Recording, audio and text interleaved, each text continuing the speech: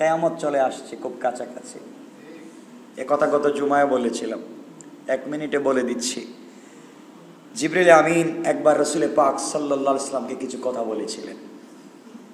কতটা আপনাদেরকে মনে করায় দিচ্ছি। এক সাক্ষাতে হজরত জিবরিল আমিন রসুল পাক সাল্লাহ ইসলামের কাছে আসলেন। রসুল পাক জিব্রাইলকে বললেন, জিব্রাইল, তুমি বলো তো আমার ইন্তেকালের পরে দুনিয়ায় তুমি কতবার আসবে আর কেন আসবে? কথা বুঝেন নাই? এক সাক্ষাতে রসুল পাক সাল্লাহ ইসলাম জিবরিল আমিনকে বলছেন, জিব্রাইল, তুমি তো অনেকবার আসছো, আমার কাছে আসছো, অনেক কিছু নিয়ে আসছো, আমার পরে কি তুমি আসবে পৃথিবীতে? আমি না থাকলে আসবে? আর আসলে কেন আসবে? কি জন্য আসবে? জিবরিল আমিন বলছেন, ইয়া রসুল আল্লাহ আপনি মারা যাওয়ার পরে পৃথিবীতে আমি যাব। পৃথিবীতে আমি আসব। কম পক্ষে দশ বার। কয়বার? কয়বার? রসুলের ইন্তেকালের পরে জিব্রাইল পৃথিবীতে আসবেন কয়বার? রসুল আল্লাহ এতদিন আপনার কাছে এসেছি। আমি আসছে শুধু নিয়ে আসছি। শুধু আল্লাহর কাছ থেকে আপনাকে দিছি আই না, এটা দিছি, কোরআন দিছি, যা আল্লাহ বলছেন সব দিছি। আর আমি আপনার পরে দশ বার আসব। কিছু দেওয়ার জন্য না, নেওয়ার জন্য। আমি দিব না কিছু, নিয়ে যাব। রসুলে পাক কাঁদলেন। আর বলেন জিব্রাইল, তুমি আসবা, নিয়ে যাবা? কি নিয়ে যাইবা তুমি বলো? ইয়া রসুল আল্লাহ আমি কেয়ামতের আগে পৃথিবীতে দশ বার আসব। দশ বার এসে দশটা জিনিস নিয়ে যাব। এক নাম্বার যে জিনিসটা নিয়ে যাব, এটা হচ্ছে দুনিয়ার সকল জায়গার থেকে বরকত আমি নিয়ে যাব। আপনি নাই? নয় আমি সব বরকত নিয়ে যাব। আজ বাড়ি আছে গাড়ি আছে। আমাদের টাকা পয়সার অভাব নাই। খবর নিয়ে দেখেন বরকত নাই। আপনাদের সত্য বলা লাগবে। বরকত আছে? আমি বলছি না। বরকত নাই। ইয়া রাসূলুল্লাহ আমি আসব এবং বরকত নিয়ে যাব। জিবরাইল তুমি বরকত নিয়ে গেলে আমার উন্নতির কি হবে? ইয়া রাসূলুল্লাহ, আপনি উম্মত বলতেছেন। এই উম্মত তো আপনাকেও ঠিক মতো চিনে না। এই উম্মত আল্লাহর জমিনে থাইকা আল্লাহর নামে নাফরমানি করে। দুই নম্বরে তুমি কি নিয়ে যাইবা? জিবরিল আমিন বলছেন, ইয়া রাসূলুল্লাহ, আমি দুই নম্বর যে জিনিসটা দুনিয়ার থেকে উঠে নেব এটা হচ্ছে ইবাদত থেকে মজা, স্বাদ উঠে নেব মানুষ ইবাদত করবে, মজা পাবে না। আজকে আপনি আপনার বুকে হাত রেখে শপথ করে বলেন, আপনি ইবাদত করেন, আমি ইবাদত করি। কিন্তু সাহাবায়ে কেরামের মতো তাবে আইনের মতো স্বাদ পাই না। সেজদায় স্বাদ নাই, ইবাদতে স্বাদ নাই, কোরআন তিলাওয়াতে স্বাদ নাই। এমনও মানুষ আছে, দশ বছরে কোরআন পড়েন নাই স্বাদ নাই। ইয়া রাসূলুল্লাহ, আমি আসব দুনিয়ায়। মানুষ থাকবে এবাদত থাকবে, কিন্তু এবাদতে স্বাদ থাকবে না। আপনারা বলেন, আছে এখন। আপনারা বলেন এক নম্বরে বরকত আছে, দুই নম্বরে ইবাদতে স্বাদ আছে। আমরা নামাজ পড়ে কিন্তু শান্তি পাই না।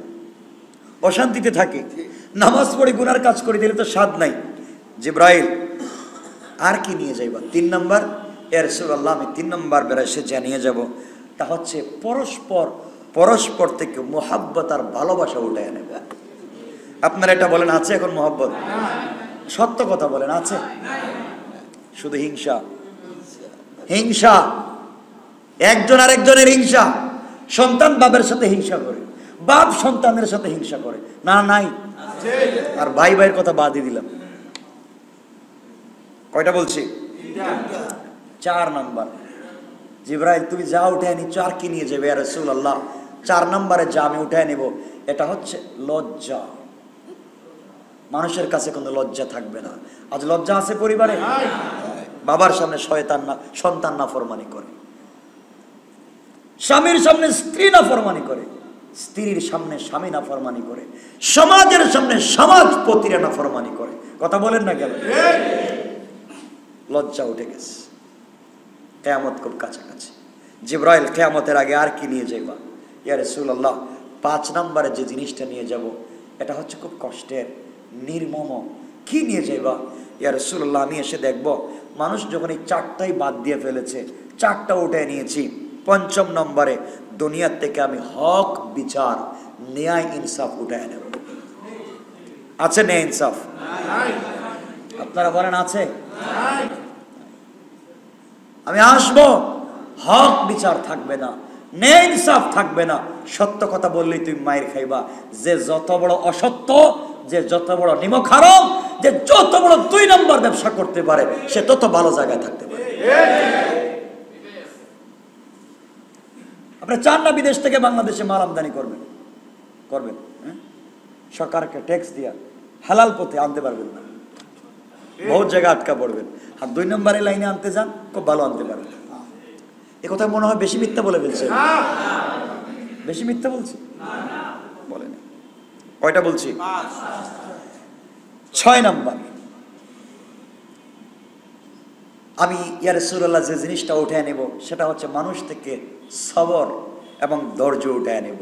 মানুষের কাছে ধৈর্য থাকবে না সবর থাকবে না। আজ আছে সেটা? নাই। ইয়ার সুরাল্লাহ সাত নম্বর যে জিনিসটা উঠে নেব সেটা আরও নির্মম। কি জিব্রাহিম কখন নিবা? ইয়ার সুরাল্লাহ কে আমাদের খুব কাছাকাছি টাইমে এটা উঠে নেব। কে উঠে নিবা? ইয়ার সুরাল্লাহ দুনিয়ায় হাজার হাজার আলেম থাকবে, কিন্তু আমি এলিম উঠায় নেব কে উঠায় নেবেন? এলিম উঠায় নেবেন এর মানে কি? বড় বড় এলিম ওয়ালা হক্কানি আল্লাহ ওয়ালাদেরকে উঠায় নেবেন। উঠায় নিচ্ছেন নি? নিচ্ছেন নি? সব উঠায় নিচ্ছেন।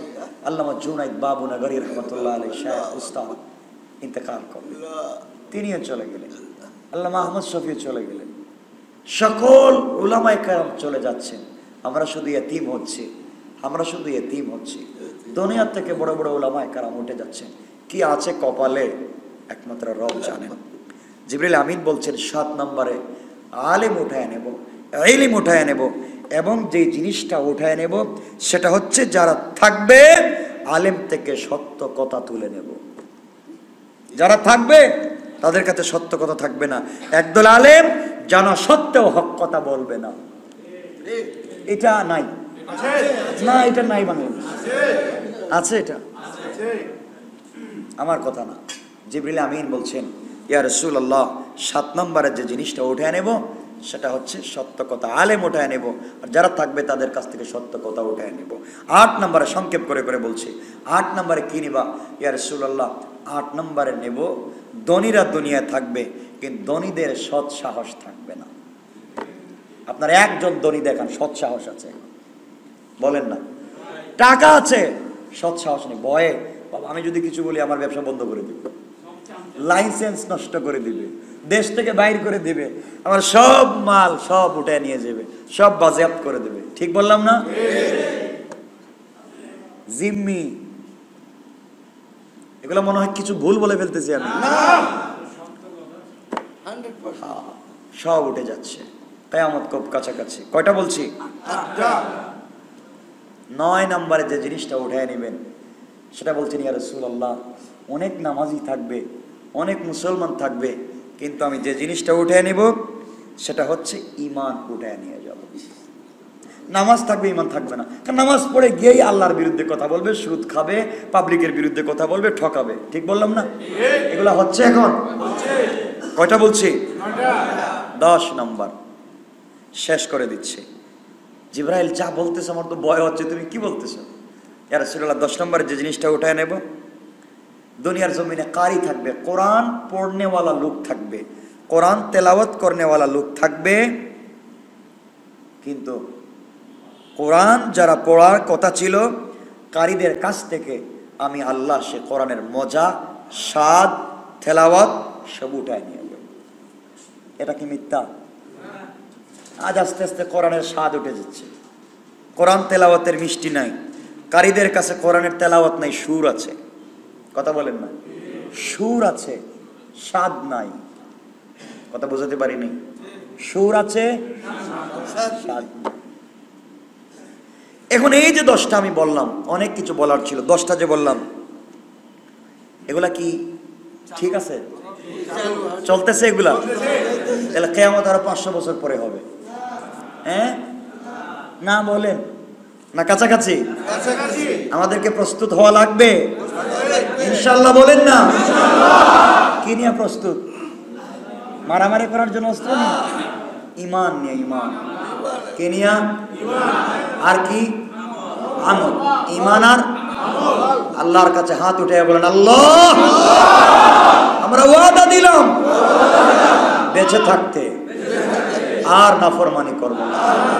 গুনার কাজ করব না। ইয়াল্লাহ আমাদের জিন্দগির সবগুলা গুণাকে মাফ করে দাও। সবাই বলেন আমি